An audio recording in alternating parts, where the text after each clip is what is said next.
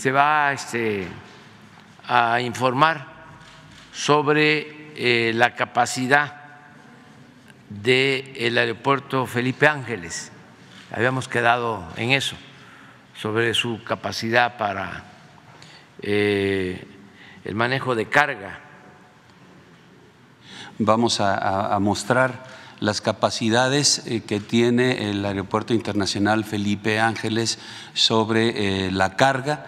inicialmente el video considera ahí desde una parte informando también las las eh, instalaciones importantes que están establecidas ahí mismo, y, pero va este, a, mostrarse principalmente todo este sistema de carga, todas las capacidades, todo lo que podemos desarrollar inclusive también ahí se da la información de eh, lo que puede ser una proyección para años posteriores de conformidad al crecimiento y desarrollo de esta misma instalación estratégica de México.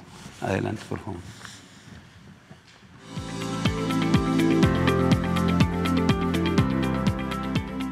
El Aeropuerto Internacional Felipe Ángeles, ubicado al noreste del Valle de México, es un complejo aeroportuario de clase mundial, que cuenta con una capacidad suficiente para mover pasajeros y carga doméstica e internacional, entre otros servicios. Dentro del campo militar que lo alberga, se localizan las instalaciones principales siguientes, la terminal de pasajeros, la base aérea militar número 1, las bases de operaciones mixtas de aviación general y de helicópteros, FBO, así como una terminal de carga.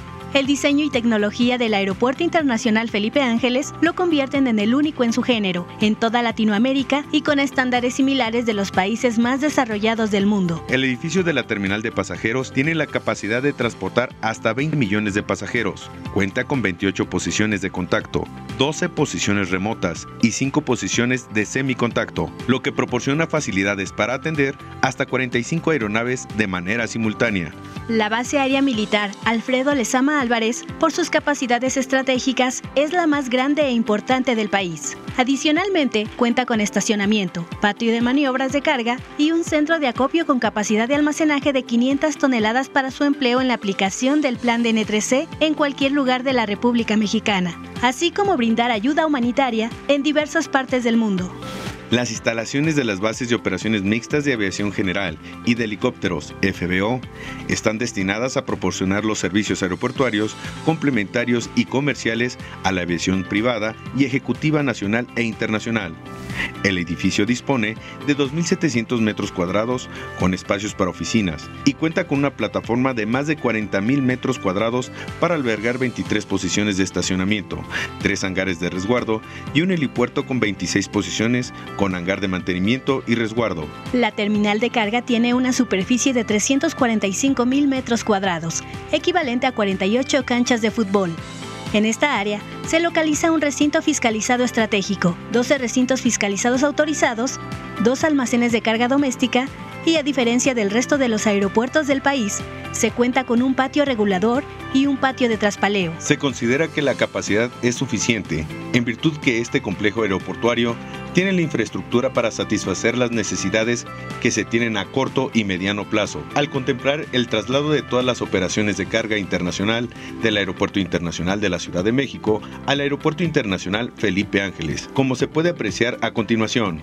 En el año 2022, el Aeropuerto Internacional de la Ciudad de México recibió un promedio de 250 mil toneladas en aviones dedicados para carga internacional, mientras que el Aeropuerto Internacional Felipe Ángeles Cuenta con una capacidad instalada para recibir 443 mil toneladas de carga en este rubro al año. El recinto fiscalizado estratégico de 21 mil metros cuadrados, completamente equipado y con las certificaciones correspondientes, al día de hoy tiene la capacidad de recibir 20 mil toneladas contando con una proyección a cinco meses de hasta 120 mil toneladas que garantiza la continuidad de la cadena de suministros. Cabe destacar que este recinto fiscalizado estratégico cuenta con la capacidad de recibir cualquier tipo de mercancía, ya que dispone de una cámara de refrigeración y de congelación, así como un sistema biométrico que permite el control de acceso al área operativa.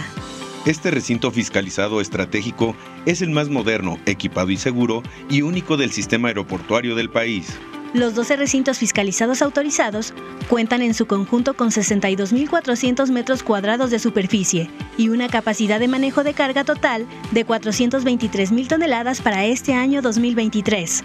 De estos recintos, cuatro se encuentran certificados y equipados con capacidades de operar de manera inmediata y el resto estará en las mismas condiciones una vez que las empresas adjudicadas realicen los trámites y equipamiento correspondiente de conformidad a sus modelos de negocios.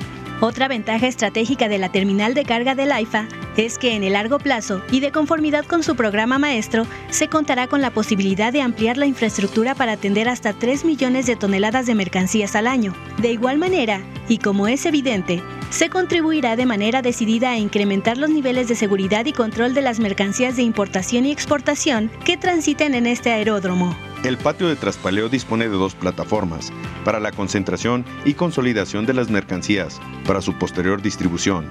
En el patio regulador existen 90 cajones de estacionamiento para vehículos automotores de diferentes capacidades que transportan mercancías de importación y exportación, asegurando, con todo esto, que el proceso del manejo de la carga sea eficiente y eficaz. Existe un sistema no intrusivo de revisión para que los vehículos puedan ingresar o salir de la zona de carga. El paso de los vehículos por el sistema no intrusivo busca detectar sustancias prohibidas o peligrosas.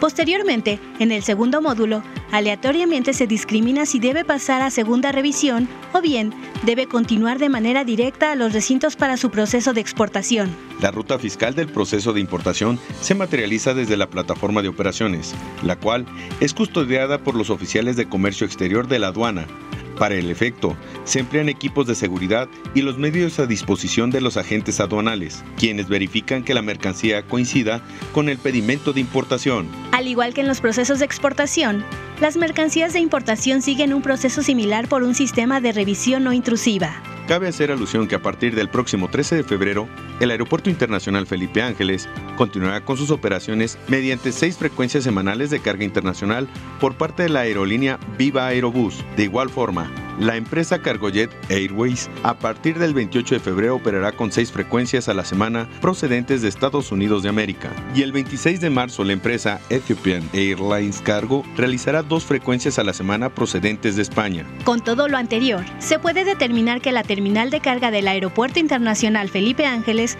cuenta con la infraestructura, equipamiento, certificaciones y procesos suficientes que permiten garantizar con altos estándares la continuidad de la cadena de suministro el incremento de su capacidad de carga en el futuro y la seguridad y control de las mercancías que ingresan y salen del país, contribuyendo al desarrollo nacional y en beneficio del pueblo de México.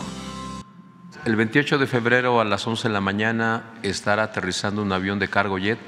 Esta aeronave es arrendada o le da servicios subrogados a DHL con carga internacional procedente de la ciudad de Cincinnati, Estados Unidos es que DHL ya aceptó, me acaban de informar. Este, bueno, eh, ratificaron pues de que ellos eh, van a manejar toda su carga, todos sus envíos en el aeropuerto Felipe Ángeles. Ahora, sobre eh, cómo llegar al aeropuerto, hay toda una campaña y vamos a seguir este, insistiendo, incluso eh, en este mes vamos a inaugurar la ampliación de una vía. ¿Por qué no lo explica, general? Para cómo llegar y cuánto tiempo se hace. Tenemos 19 puntos del Estado y de la Ciudad de México para salir y llegar del Aeropuerto Internacional Felipe Ángeles con precios que van desde los 70 pesos hasta los 150, el más caro. Es importante mencionar también que tenemos la línea del Mexibus número uno que parte de Ciudad Azteca, por nueve pesos se llega a Ojo de Agua y por otros nueve pesos de Ojo de Agua al Aeropuerto Internacional Felipe Ángeles. Esta información, además de que la tienen las aerolíneas en sus páginas web, también la tienen las propias empresas de transportación terrestre y especialmente la página del AIFA, del aeropuerto, su página web, tiene toda esta información, incluyendo los sitios de interés y los servicios que se están dando en el aeropuerto.